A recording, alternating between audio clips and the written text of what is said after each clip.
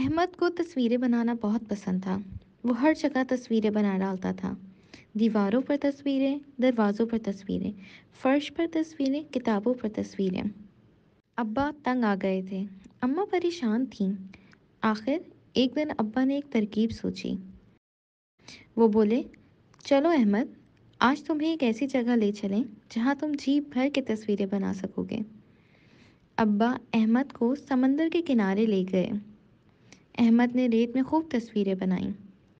शाम को अब्बा बोले, अब हम हर हफ़्ते यहाँ आया करेंगे। शर्त यह है कि घर में तुम सिर्फ़ कागज़ पर तस्वीरें बनाना।